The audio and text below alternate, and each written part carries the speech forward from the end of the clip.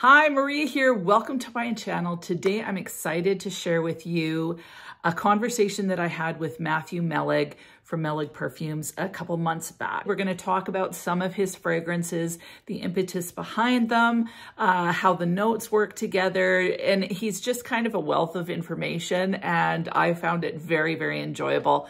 So it's quite long, so if you're really into it, get yourself a snack or whatever or come to back to it in parts. Uh, I thoroughly enjoyed chatting with him. He's so interesting to talk to. He's a self-taught perfumer. I love his fragrances. He's also Canadian, which always excites me. But I think the thing that I appreciate about him the most is that not only is he self-taught, he's willing to share what he's learned with others. And I just found him to be a very, very wonderful person. So Sunyata from Untamed Perfumes is also in there a little bit. She was kind enough to kind of do the recording for us. It was really, really a thrill to be able to chat with him about the fragrances and just interact with different materials and whatnot. We start by talking about different fragrances, attar oils, different stuff like that.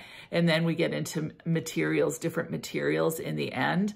Uh, but some of the fragrances that I smelled, I'm just absolutely in love with. So anyway, are you ready to go on this journey with me? If you haven't subscribed, just go ahead and hit that button, join the Weird and Wonderful family. It would be amazing to have you part of the community. And also, I will have all of Matthew's information. So his Instagram, his, uh, his website, and also he has a blog uh, that he's started. So I'm going to leave all of the information uh, and also all the fragrances that are mentioned. They'll all be listed down below as well. So are you ready? Let's get started. Look at, this is Matthew Meleg. So this is the sample back of all of your fragrances or? Most of the ones that I have out at the moment. Okay. I'm not even sure. I didn't even count them. I think there's 13 here. So there's nine perfumes. And then there is three Oh, or geez. four.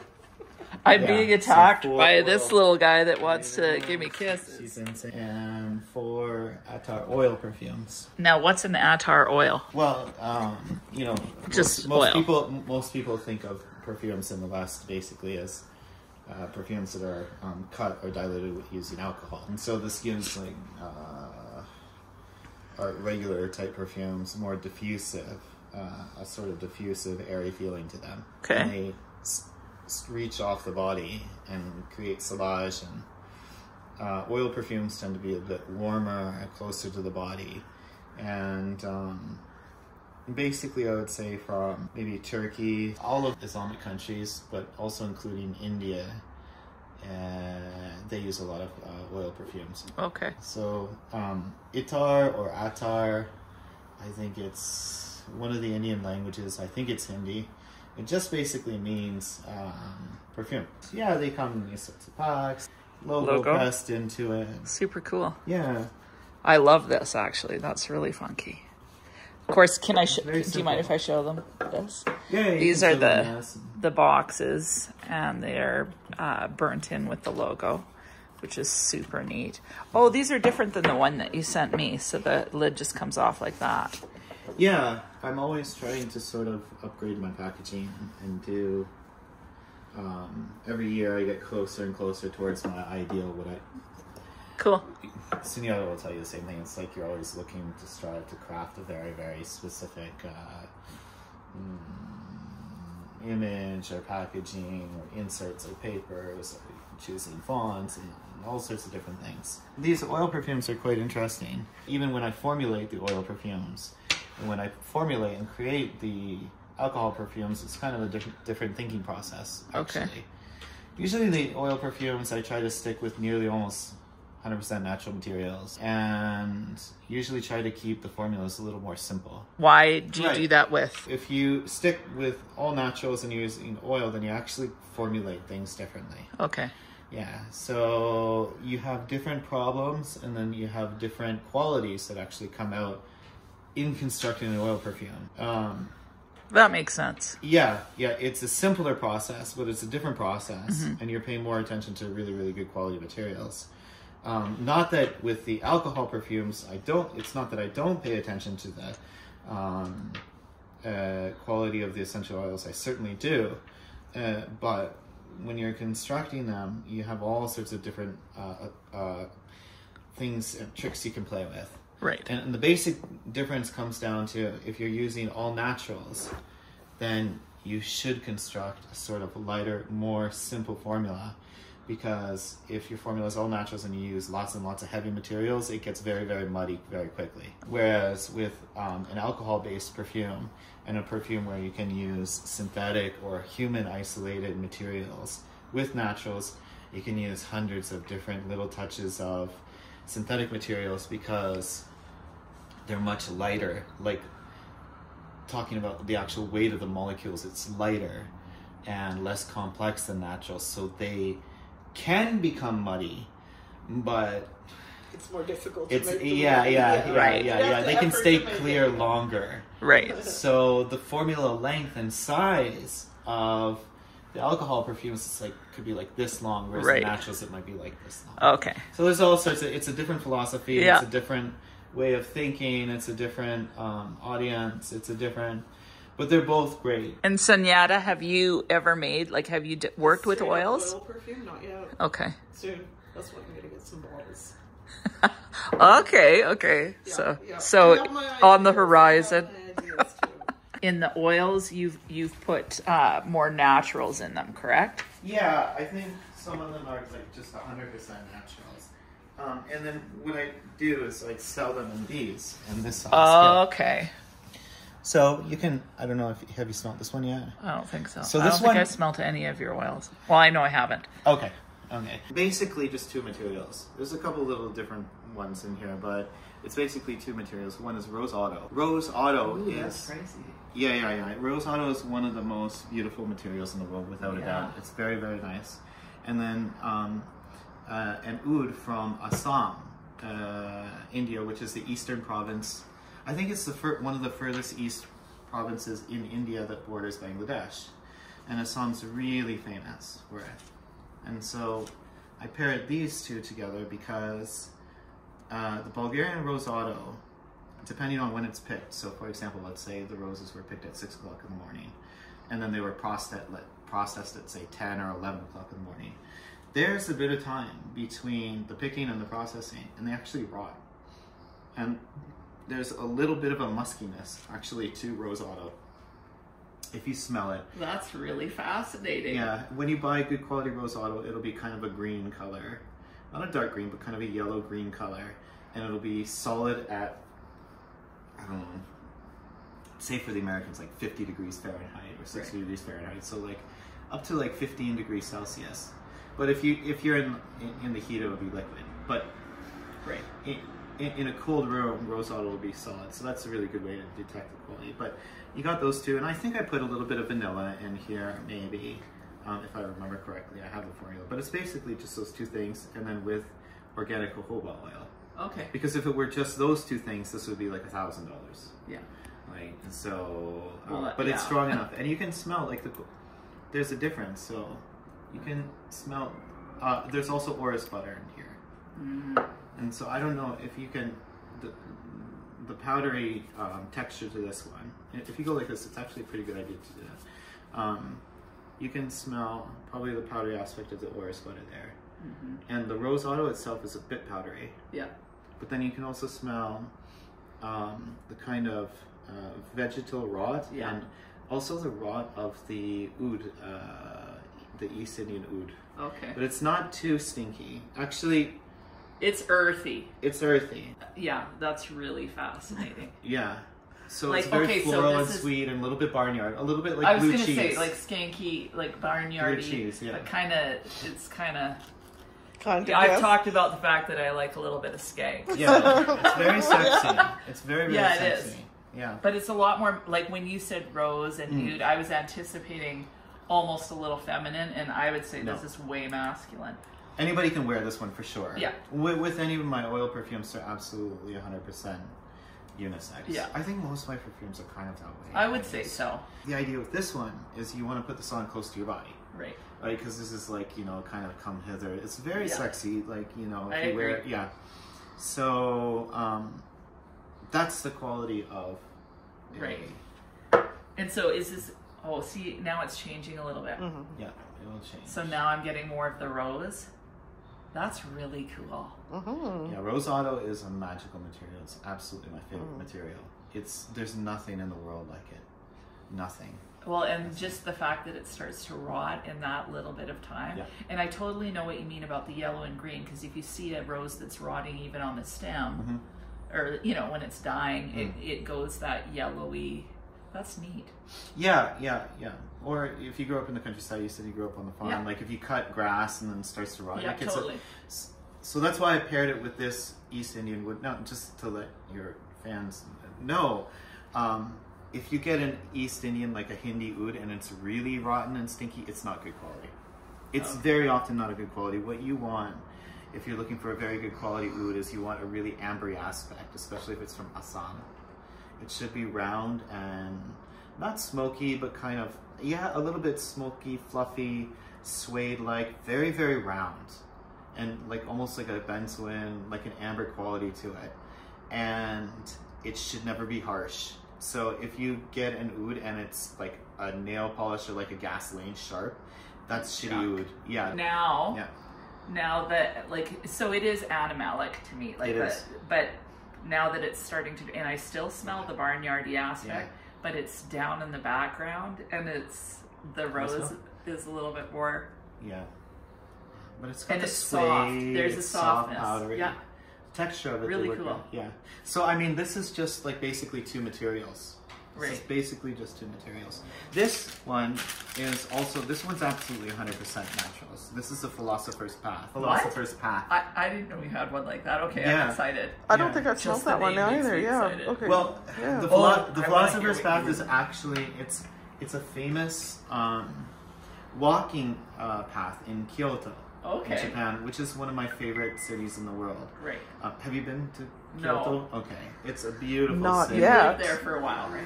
I lived in Tokyo for a decade, Okay. but I would often go to Kyoto because Kyoto is this ancient capital of Japan. It's the old one before Tokyo, and it's got I think literally two thousand temples and gardens, and everybody there is an artisan. And Oh, um, yeah, it's all family businesses, and you might see another. It, it's just fascinating. It's a Yeah. fascinating place, especially if you like to make things by your hands. Yeah. So um, the Philosopher's Path is kind of like we- you have to smell it. I think I got lucky with this one. Um, this is Orris Butter Lavender Absolute. Uh, lavender oil made only from the flowers of the lavender. Okay. Um, this is Jasmine Absolute Grandiflorum from India. It's a really jammy, like purpley color. Like it's just gorgeous. Um, so it's jasmine, rose, lavender, a little bit of orange on the top, but you can smell that. Very That's cool. all naturals. Yeah. That's gorgeous. That's more okay, I'm feminine. getting a little bit more of the orange. Yes, I Yeah. agree. See, I would say that this one, is, I agree. like, well, yeah. honestly, anything is unisex, but well, yeah. uh, but I'd say this leans masculine just because of the Yeah. mood for me. Yeah. But this leans feminine. That's beautiful. That's. I think this is one of the best formulas I've ever for sure. And the name It's is very- Philosopher's Path. The Philosopher's Path. You know I can't do lavender, but I'm still I can I can handle that. Well, this Yeah. one's a, a little Yeah. bit more essential oily feel. You know what I mean? Like, Yeah, yeah. like it's, It's- it, it it doesn't smell like sometimes lavender, synthetic-y, it smells prickly, whereas this smells It's not smooth. prickly at all. That's why I And lavender absolute is quite quite different. And and lavender oil that's made only from the Yeah. flowers is very very floral. It's not. It doesn't Yeah. have the stemmy. Okay. Yeah. It doesn't have any of the stemmy greenness. Not herbaceous. No, there's all sorts of different types of lavender. Like the most Mhm. herbaceous lavender is a, a thing called spike lavender. It basically smells like lavender plus like rosemary. Right. So Yeah, and that's I good for agree. masculine barbershop sorts of things. And you're right. When we're when we're talking about masculine feminine, we're talking more like um, historical references. It's it's a, it's it's it's for a matter of categorizing scent in, in the mind. I, I think anybody can um, wear anything. How do you find uh, like like the oils stick closer to the skin, right? The oils that- purposely are meant to stick to the skin. So, what I do recommend is if um, if you're going on a date and, and, and you find a boy that you really like, ladies, okay, you know, or the opposite for women, uh, for the guys, whatever, or whatever, whoever you're going out with. okay? Sorry. So, um, you can definitely pair an oil perfume to Oh, yeah. So Now what you can talking. do, yeah. So what you can do is you can put on a bright, lighter, more citrusy, more diffusive perfume on your clothes or something on the outside, and then you put on an amber or something warmer towards the inside, like on your skin. Mm-hmm. And a lot of my perfumes are inspired by Kyoto Japan because. Um, It's it's, it's a fascinating culture. It really is very interesting. So there's a couple traditional top notes in Japanese um, incense. One of them is uh, menthol um, or eucalyptus. Okay. Okay. I love that. Yeah. What's that Freaking one? love it. What is it? It's the silver pavilion. Silver Pavilion. You haven't smelled this one. It's got, I was going to say crystal mouth. No. it's got eucalyptus. Oh yeah. I love it. Mm-hmm. Yeah. So um, I, love the temple. Of, or it, do you call it Temple of Horus or Yeah. Horus? I call it Temple of Horus. Okay, that's what I thought. The Temple of Horus formula is taken actually literally from the Temple of Horus, uh, walls of the Temple of Right. Horus. It's a very, very basic morning incense. Uh, so the Temple of Horus is an Egyptian morning incense. Uh, and the Egyptians had thousands, like di- so many hundreds, probably thousands of different incense recipes for specific times of year. This is this formula is a fresh, bright, crisp um, cedar wood and frankincense. And then this, uh, the Silver Pavilion oil perfume, is um, a kind of minty opening, right? Which is actually, so you got Egypt in one hand and then Ja- Japan on the other, but it's also opens with this crisp, um, traditional Japanese formula where you have, I think it's either borneol crystals or menthol crystals, and then ginger, um, sandalwood, and then oud uh, on the bottom. And it transitions down from very, very bright and light through to sort of a leathery oud eventually. Can I smell But it they go- together? Yeah, they go very nicely together. And what's interesting about these two perfumes is that they're very, very fresh, very bright. The Horus is kind of a citrus bright because frankincense is quite citrusy. And then the Silver Pavilion is a crystally menthol type type of brightness. Um, but they both end up smelling over a couple hours. They're incense perfumes. It's kind of fun because most of the time people associate incense with like dark, ambery, sweet. See, I always Things. I always associate incense with cold. Like I find it to be a cold. Okay, okay. So Well, to I'll have me, to burn some incense for you then. I have some Yeah. Japanese incense here. just the incense that I've smelt in perfumes. Yes. Not like I actually haven't really done a whole lot of incense Okay. in the room. Maybe that's the your that's next. my uh, problem. Incense is a really fun thing to smell. It's really Yeah, like I remember smelling like a cheapo, you know, whatever incense, but yeah. But to me when I've smelt incense or what I perceive as Mm. incense in a fragrance, to me it comes across as cold. There, so uh, you make an interesting point because there are cold resinous materials. Right.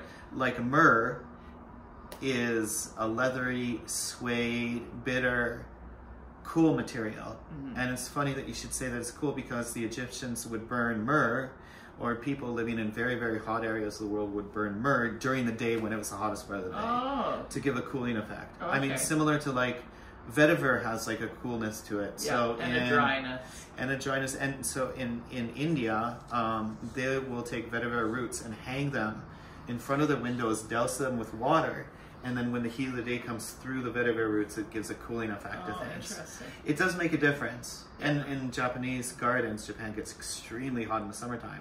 You'll notice when you go in there, there's no red flowers, there's no orange flowers, it's all green Oh, okay. and it's always centered around a cool pond. So you can play with these sort of contrasts. Like I think when people smell incense, most of the time they're thinking of like cloves and sandalwood and benzoin and maybe Indian incense, which is a very sweet thing. Right. Or patchouli kind of has, I think patchouli is a midway. It can be cool and warm. I think Yeah. kind of, maybe a little cool actually, but um. I find patchouli to be a little bit more warm. Like, Mm. well, depending. I find Depending. patchouli to be a little bit spicy, can be a little bit chocolatey. Yeah, yeah, Uh-huh. yeah, yeah, for sure. Depending. Yeah. Or it can go almost oud like to me. Yes. okay, that's- so out of yeah. the the two of them, the rose one, definitely, I really, that's a really, yeah, that's the most expensive one. yeah. She has expensive taste. Like I like the lavender one too, and it's interesting because Doesn't smell. These two. I find They're- that the rose one is now more nicely. uni- unisex. Yeah. It's not masculine. I love saying Okay. I'll do the filming today. okay. I'll be filmed another day. My hands have come into the scene a few times. Yeah. yeah. So switching over to warmth, right? We were talking Yeah. about cool versus warm. This is definitely the warmest perfume. I have. and which one's that one? This is the deer musk. People can buy it uh, from me with natural deer musk if they want, Yeah. or just uh, synthetic deer musk accord. To be honest, there's not a huge difference in the in the scent because I spent a long time crafting. Like I know how to craft a pretty good synthetic deer musk accord. Mm-hmm. Anyways, they just have to send me an email and say, "Hey, I want the real Send me- thing. yeah, yeah. So this is very, very warm. It's very sweet. It's got honey. It's like got beeswax absolute. Okay. We were talking about that earlier. Yeah, sometimes beeswax is weird for me, but I we'll can see. show you some. I have some here, like the actual material. Yeah. I can show you beeswax absolute. It's got a material in here called phenylacetic acid, which is really interesting. It's found in insects. I don't know if you ever, ever like a bad little kid, you ever take like red ants and squish them? Never. Right. Could never You do it. Right. No, I literally could never do it. Really? Yeah, it was- All living creatures. No. This is first- no, but I literally didn't. Okay. But So, not all right. remember So, ever doing that. if you are in, uh, if you were a boy yeah, and and you, you squish ants, or if you get honeysuckle, Okay. okay, flowers, and you smell them, and deep inside them, it's so sweet, it's almost bitter Right. and musky. That's what phenylacetic acid is. It's a natural material that's just been isolated. As far as I understand, the phenylacetic acid is actually in flowers. There's a ton of it in honeysuckle. Um, There's a little bit in rose, I think, too. Right. We used to have some ferrets, and it smells exact, very similar to ferret musk. Okay. It's very sweet and honey-like, almost to the point where if you take honey or sugar, you burn it on the stove, or maple sugar, more like dark maple syrup, where you cook it so much and it just before getting bitter. Okay. So there's a lot of crossover between honey, between balsamic vinegar, between honey and wood, between honey and the scent of squished ants. And I tried to capture all of that in this perfume. Of course, um, along with that, it, in the requested perfumes, I'll put a tincture of um, deer musk Okay. pod here. Um, and then um, beeswax absolute uh, and a couple other things. I think some jasmine absolute, which is very, very honey like sometimes as well. Right. And this also has tonka bean Okay. and benzoin. And um, again, for people that don't mind the animal I'll put in civet paste, civet musk. And this essentially is kind of like a long last type of perfume that um, wealthy, aristocratic uh, socialites in, in Paris, the ladies would wear on the inside of fur coats. So you have fur Ah. on the outside. Okay, so you have fur on the outside. And on the inside of the fur coat, you would always have like suede or like the real animal skin on the inside, Right. which would rest against your collarbone and your skin up around here. Right. And you'd have the combination of, you know, human sweat with fur. Right. And they would wear these types of ambery honey um, perfumes. One of the uh, perfumes, I think it's it's Tonka something by Guerlain. Okay. I think that's kind of a reflective of these old winter night amber, deer musk, and uh, and and and and um, tonka bean type perfumes. But this is closer to the original formulas. You're considering this more of a vintage or like a, a his. I, I hate to use History, that yeah. word. Historical. I would Yeah. use that term. I think. So I'm totally self-taught. The only formulas that I had to study from, the textbooks that I had to study from when I first started off was like free domain Right. vintage formulas that I Okay. could actually find. Okay. interesting. And Interesting. so I was forced actually to study old French formulas before anything else. right. And so I still love old vintage. So you fell in They- love with- I love them.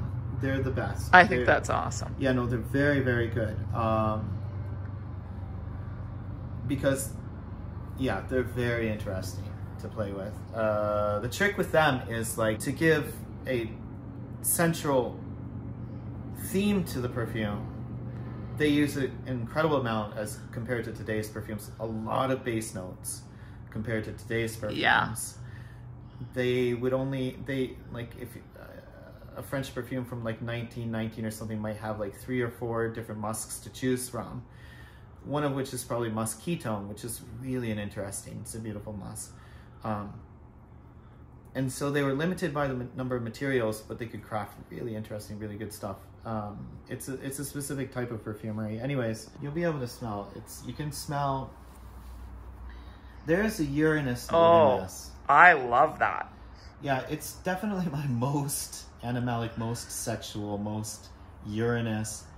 It doesn't come across as urine to me Yeah, but on the skin. if you think about yeah, but you can't. I, I have to say it like in a, I don't even know in a good human way. Like it smells like. Uh, it's freaking sexy. Yeah, yeah, yeah. Not not in a bad way. There there's No. a cross. People would never notice this until you tell them, but there is a cross between urine and honey smell. Right. No, I totally agree Yeah, because, yeah. uh, like honey. like, uh, Oh, okay, yeah, my piece. Yeah, yeah. no, yeah. to, well, oftentimes I, I, when I smell honey, I instantly think urine. Okay. Always, actually, but not. I shouldn't say that because some honeys don't come across that way. To me, this doesn't smell. It, it may go uriny on my skin, Hmm. uh, but that is really cool.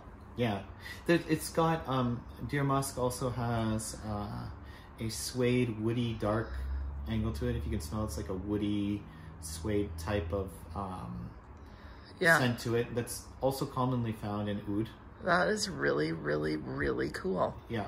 So the Datura, you haven't smelt it yet. Um, Sorry, I haven't even put the top on. It's very rare, raw and naked. This is my newest perfume. Look at that bottle, guys. Yeah, Love it's, it. it's not dressed up yet. I haven't put the cap on and stuff. Right. Um, this is the Death's Head Moth. Uh huh.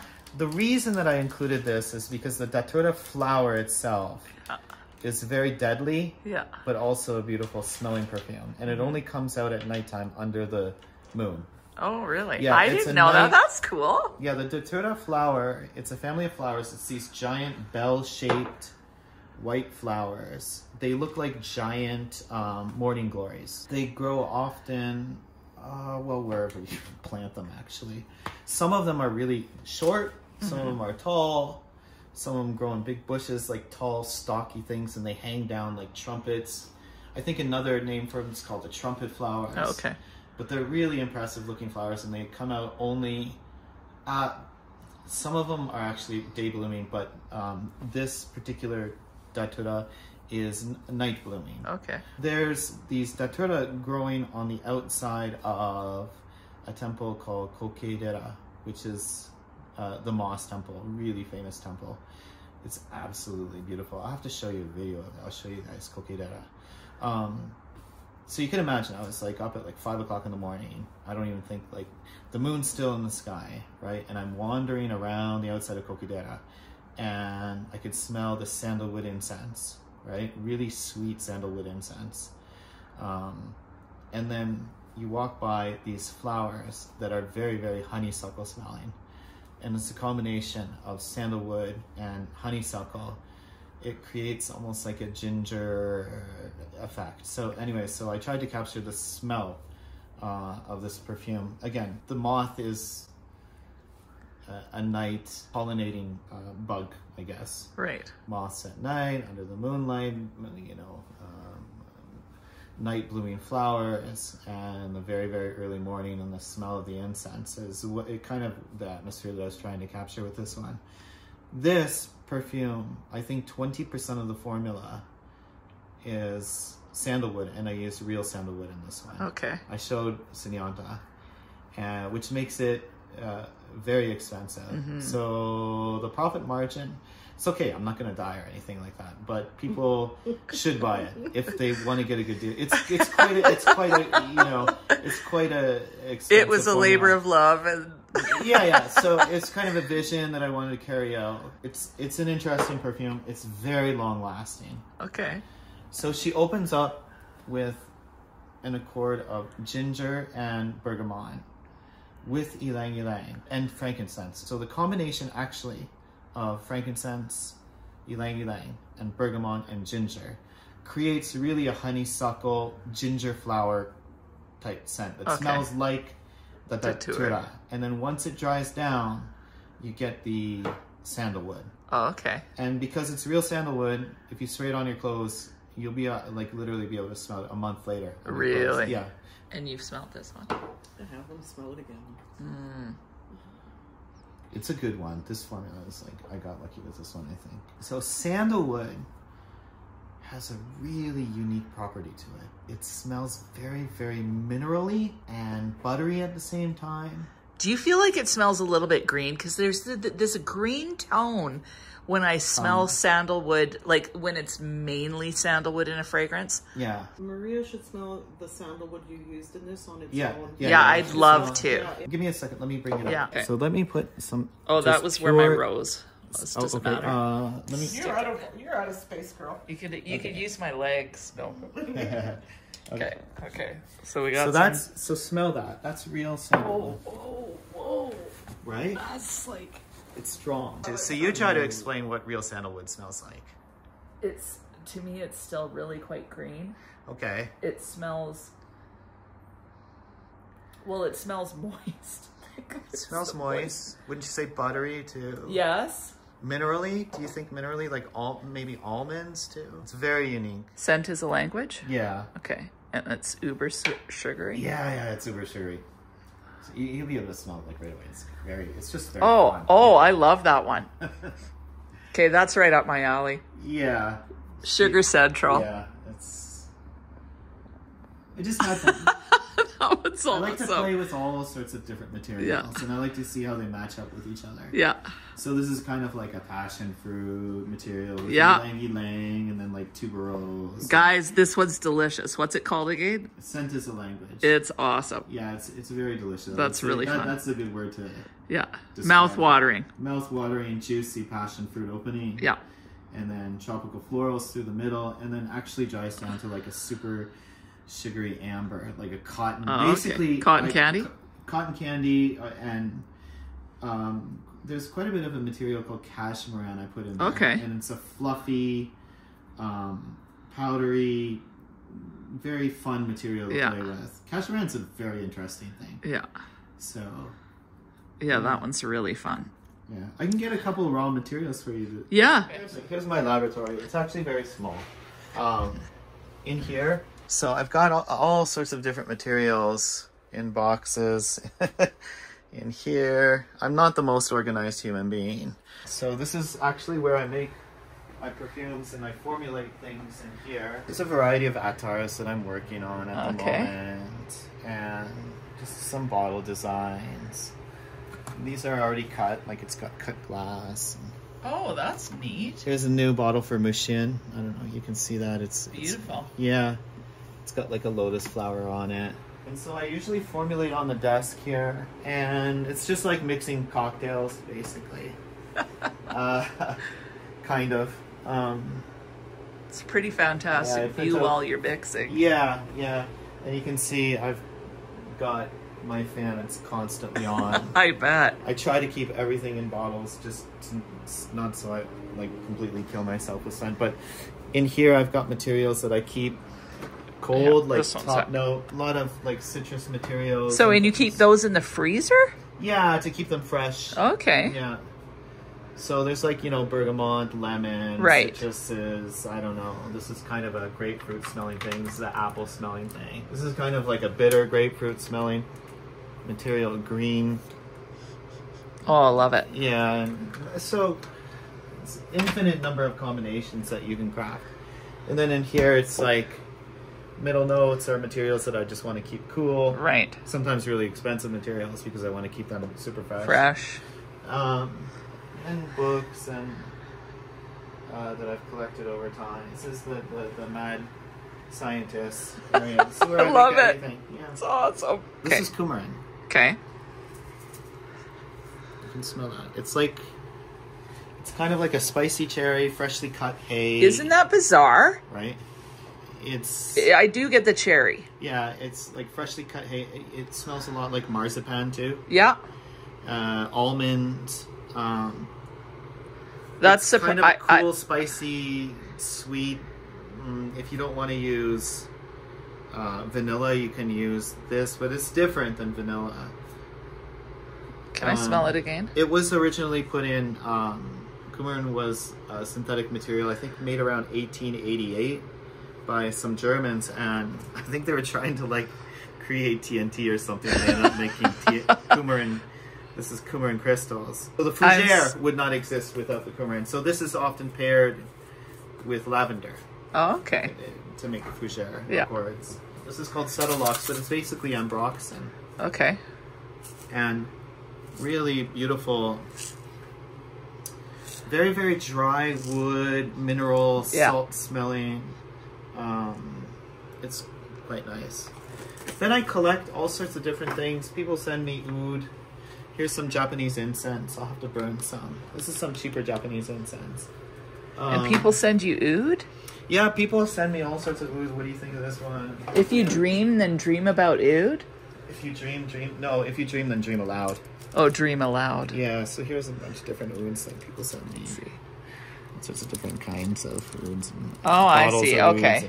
So as you can see, it kind of ended abruptly. The bottom line is time got away from us. We had no idea what time it was and we needed to go eat. Like we ended up talking forever. So anyway, thoroughly enjoyed it. Look forward to maybe getting together with him sometime in the near future and having more chats. I'd like to do the same thing with Sunyata.